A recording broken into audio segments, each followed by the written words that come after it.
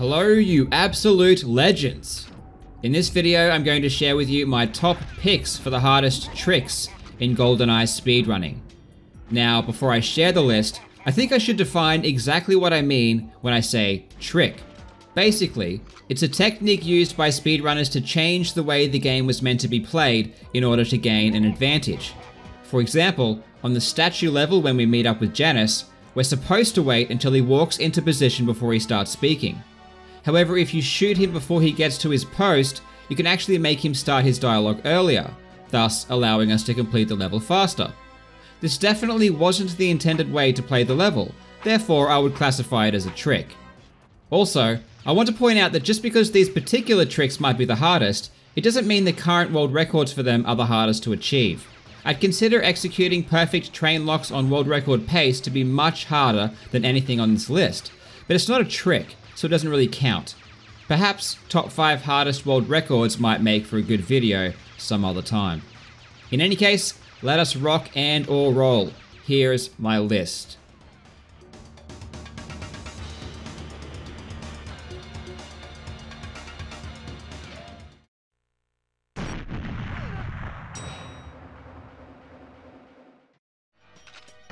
In the past, speedrunners have used a few different methods to kill Trevelyan quickly on Cradle. The current and quickest strategy, however, is to use the explosion of the drone gun near Trevelyan to kill him instantly. Up until recently, we'd always manually destroy the console by shooting it as we ran around the engine. That changed in 2018 when it was discovered that when killed by the explosion of the drone gun, Trevelyan can actually drop a grenade close enough to the console to destroy it. So this is where we're at now. Kill Trevelyan and ignore the console hoping it blows up by chance. So how does this trick work? Well first, we shoot the drone gun next to Trevelyan as we wait for him to become active. It's important to note that Trevelyan is invincible until he runs into position and starts the countdown timer, so there is no point in trying to damage him any earlier. Once the drone gun has exploded, we need to shoot Trevelyan at the exact same time that the explosion damages him. This requires some timing, as explosions will only do damage once every 15 frames, or in other words, every half a second, as GoldenEye runs at 30 FPS. Assuming you weren't trying to time at all and were shooting Trevelyan at random times, you'd expect to kill him one out of every 15 runs. But even if you were trying to time the shooting of Trevelyan, the reality is that the frame rate is so poor at this moment that it becomes pretty difficult to do. Once killed, there is a 30% chance he will drop a grenade, and of those runs, there is approximately a 20% chance the grenade will destroy the console. Statistically, you're looking at a 1 in 225 chance of everything going right, but that doesn't factor in other considerations such as bad guard placement or unlucky gun spread. Technically, the strategy on all difficulties is exactly the same, and on all difficulties the world record is 33 seconds. But you'll notice many more people have the agent record, that's because there are subtle differences that make this trick much more annoying on the harder difficulties. Let's take a look at what they are. The first difference appears immediately as we begin the level. A distant guard needs to be killed, or he will backboost us many times. On Agent, due to guards having lower health, runners will shoot anywhere from 4 to 6 bullets at the guard to kill him before beginning strafe. On Secret and 00 Agent, runners will unload the entire clip before strafing, as strafing is faster than running straight forward, the extra time spent killing the guard here means they are off to a slightly slower start. Next, the drone gun actually takes two more bullets to destroy. This doesn't seem like a big deal at first, aside from taking slightly longer to destroy the drone gun, but the spread of the ZMG amplifies this difference, as many shots can miss, even if our aim is true. Killing Trevelyan is slightly more difficult as well. On Agent, any hit to Trevelyan will be enough damage to kill him as long as it's timed with the drone explosion damage. On the harder difficulties, however, you need to either hit his body or have both guns hit him on the same frame if you shoot his arm. These slight differences have a huge impact, making 33 seconds on Secret and 00 Agent much harder. Yes!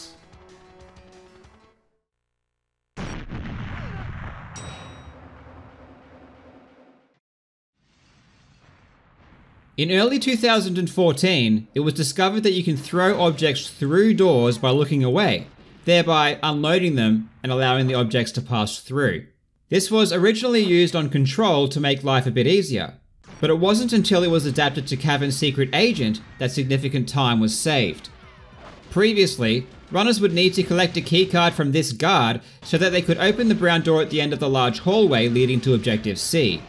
However, a mine can be thrown through the ceiling of the hallway from the previous intersection, destroying the computers without the need for opening the door. This means less travel distance, and of course, allows us to skip getting the keycard entirely. In theory, it seems pretty straightforward, but there's just something about it that makes it incredibly hard to do. Usually, even if you look away and try to unload the ceiling as quickly as possible, the mine still sticks to it instead of going through. The angle of the throw is extremely precise, and a couple of factors make it incredibly difficult to execute in a run. First of all, the frame rate is absolutely atrocious. With so much going on, the frame rate plummets to one of the lowest levels that we have to deal with in the entire game. The low frame rate makes it very, very difficult to control Bond. Secondly, you need to be extremely lucky not to be shot at the wrong time, either just before or as you're throwing the mine. If you get shot while throwing the mine, it's game over. And given the amount of guards you've attracted, not being disrupted while attempting the throw is a rarity. Despite the trick being around for almost 5 years, only 12 players have used it to beat the previous record of 119 set using the older, much slower strategy.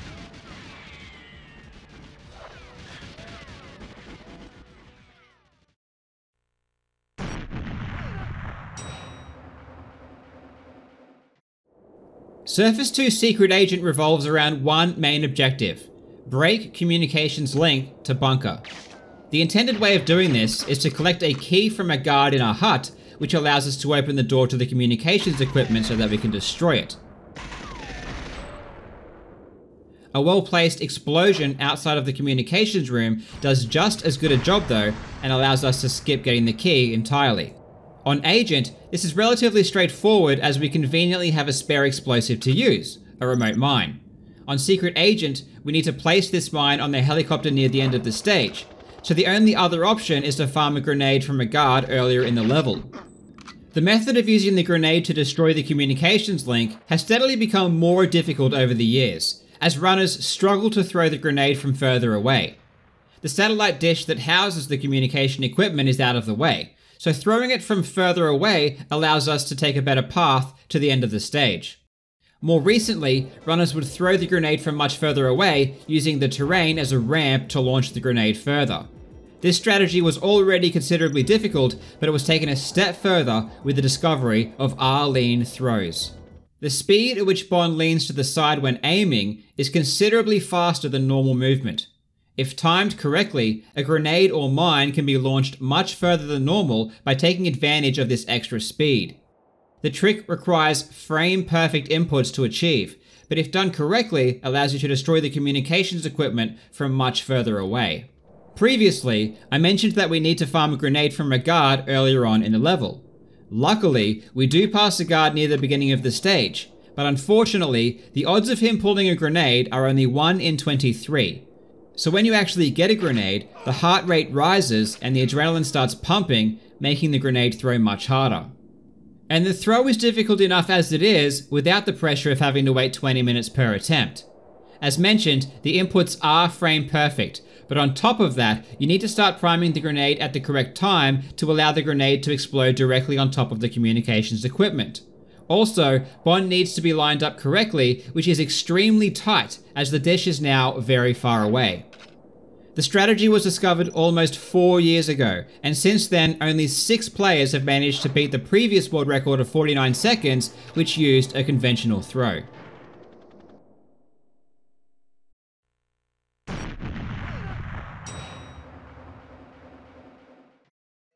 The next trick on the list was technically known about for many years before it was actually implemented into runs. But while it had been achieved using cheats or in extreme conditions, it was never thought to be possible in a standard run. Ironically, just a month before it was done for the very first time in normal gameplay, the strategy was discussed on forums and concluded to be so improbable it was more or less impossible to do. It doesn't seem to make much sense, but it's possible to warp through this door on Depot by switching weapons to create a lag spike. This is because the boundaries between the door edge and the wall are imperfect, resulting in an extremely small gap. Due to the way GoldenEye calculates Bond's position when the game drops frames, it's possible to end up on the other side of the wall just beyond the imperfect boundary. Here is a clip of the trick being performed for the very first time on an actual run.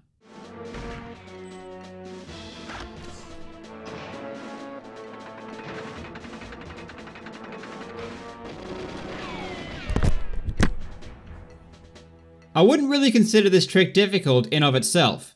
It's definitely a rare occurrence, sometimes taking hours of attempts to successfully warp a single time, but the movement isn't very complex. What I do think is difficult though is the combination of this trick with another trick done just before the warp, the train shot.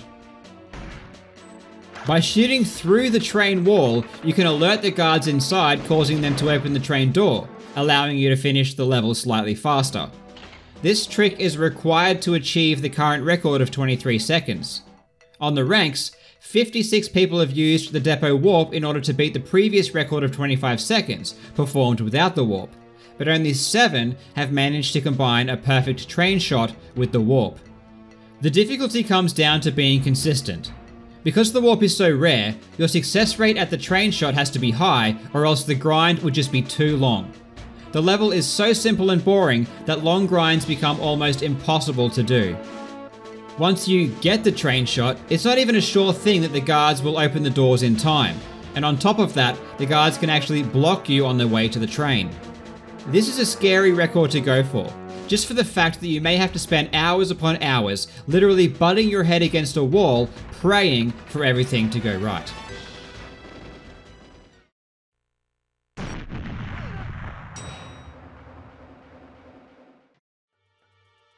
Speedrunners haven't killed Jaws on Aztec since 2002. His only purpose is to give the player a keycard that allows us to open the glass doors in the large black room, but we can actually get the guards to do this for us. Getting guards to open the glass doors isn't that hard really, and there are quite a few ways to get them to do it. Almost all methods involve attracting two or more guards and luring them to just in front of the glass. This is done by letting them see or hear you while standing next to the glass obscuring their vision, and then hiding before they can see you again. The guards will run to the spot they heard or saw you last, and because only one guard can stand in that exact spot, the other guard or guards will run around attempting to get to that same location. If the glass door gets in their way, they'll open it up. But the most difficult and fastest way to get the guards to open the glass door is by crouching inside a guard to become invisible. The strategy is executed with the following steps.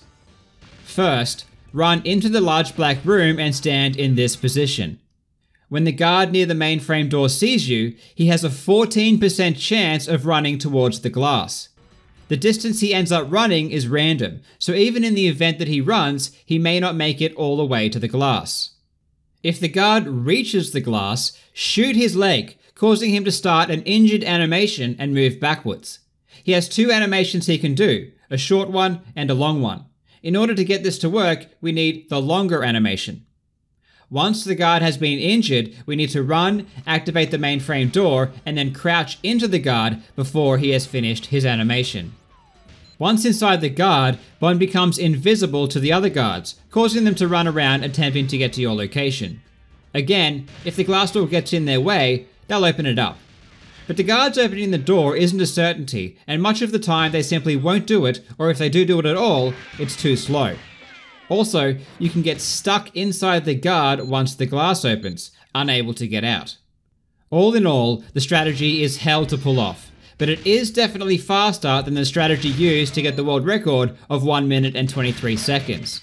As it stands, only one player has managed to pull this off with any success, landing 2 seconds behind the record but the run had many mistakes and easily lost 3 seconds at a minimum after the glass strategy was successful. This strategy is one that is both scary to attempt, but also exciting in that it's definitely possible to achieve a new record with it. I certainly look forward to giving this one a decent crack in the future.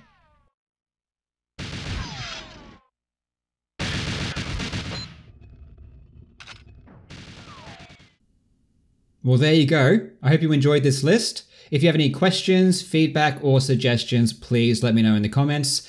I'm probably going to be doing a mixture of the Perfect Dark History videos and the general entertainment videos like this one. I'm still experimenting, so bear with me in the meantime until I find my groove. I hope you're having a fantastic day. Please subscribe if you haven't already, and I will see you in the next video.